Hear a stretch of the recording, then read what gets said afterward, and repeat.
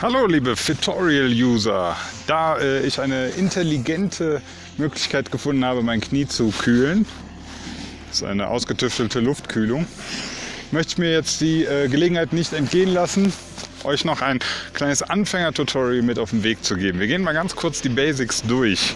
Also erstmal das Board. Was habe ich hier? Ich habe einen F2 Eliminator, das heißt einfach nur, das ist ein relativ hartes Brett, das biegt sich nicht so sehr. Da gibt es verschiedene Boards, die haben verschiedene Wellungen, verschiedene Härtegrade. Ähm, als Anfänger, ich würde immer sagen, wenn du das erste Mal Snowboard fährst, Mitte, Mitte ist immer gut. Mittelhart, nichts ganz Weiches wie so eine Banane, die so rumleiert, nichts völlig Bretthartes. Wenn du das erste Mal auf dem Board stehst, einfach äh, was Mittelmäßiges nehmen. Nicht mittelmäßig, sondern einfach von dem, von dem Härtegrad her. Ansonsten Fußstellung, man muss rausfinden, welcher Fuß vorne ist bei einem. Also rechter Fuß vorne Goofy, linker Fuß vorne Regular oder eben äh, so die Füße in beide Richtungen, dann nennt sich das Ganze Duck-Style.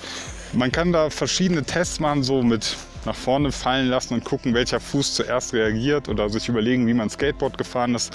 Äh, ich empfehle ganz einfach, schraubt eure Bindungen mal parallel aufs Board. Also ich zeige euch das mal, dass es so relativ parallel ist. Und dann stellt ihr euch auf, an den Hang und dann merkt ihr relativ schnell, wo ihr euch wohler fühlt. Ich zeige das einfach mal. Ihr fangt so an. Und jetzt muss ja eine Seite nach vorne kommen. Entweder machen wir mal rechts nach vorne oder links. Und bei mir war das eigentlich innerhalb von Sekunden ähm, eindeutig, dass wenn ich den rechten Fuß vorne habe, ich mich einfach 30 Millionen Mal wohler gefühlt habe. Somit war eigentlich klar, ich bin Goofy-Fahrer. Nach einer gewissen Zeit, äh, wenn man sehr viel fährt, dann will man aber auch eigentlich beidseitig fahren können, weswegen dann viele die Füße parallel machen oder Duck-Style. Das heißt, dass wir, egal in welche Richtung wir fahren würden, den Fuß immer äh, in die Richtung, wo wir fahren, auch der Fuß auch hin zeigt. Ja. Das ist auch jetzt schon die erste Übung, die man als Snowboard-Anfänger macht. Den Hang runterrutschen. Das sieht so aus. Einfach an den Hang stellen und so runterrutschen.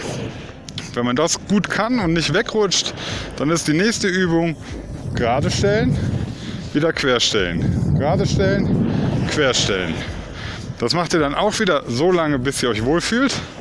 Und dann kommt der Punkt, der eben ein bisschen die Überwindung kostet, gerade als Anfänger. Das ist, wenn die Schnauze sozusagen einmal über den Punkt hinaus auf die andere Seite dann kippt. Das sieht dann so aus und dann so rumrutschen. Und so rumrutschen. Und das macht ihr dann eigentlich den ganzen ersten Tag, vielleicht sogar noch den zweiten. Und dann merkt ihr irgendwann, dass das Rutschen immer besser hin und her geht. Und dann versucht man die Rutschphasen immer kürzer zu halten und dafür die Bogenphasen sozusagen länger zu gestalten. Das könnte dann so aussehen. Und das ist es eigentlich schon, mehr ist es nicht. Und irgendwann traut man sich dann auch mal ein bisschen mehr Gas zu geben und die Bögen schneller zu machen und äh, eigentlich gar nicht mehr, ja, da sage ich euch jetzt was, äh, gar nicht mehr zu rutschen. Wenn es steil wird, rutsche ich auch noch relativ viel.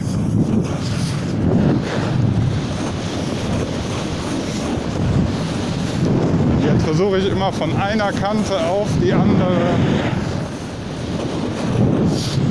und damit das Ganze schöner aussieht, fängt ihr, dann, fängt ihr dann irgendwann an, immer die Knie gegeneinander zu drücken. Aber das ist dann schon advanced.